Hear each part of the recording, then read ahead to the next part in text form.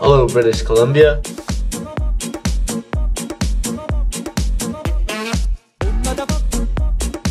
Hi.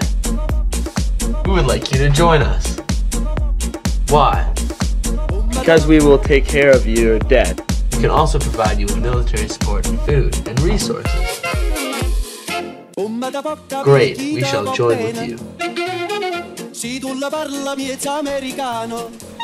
Wait,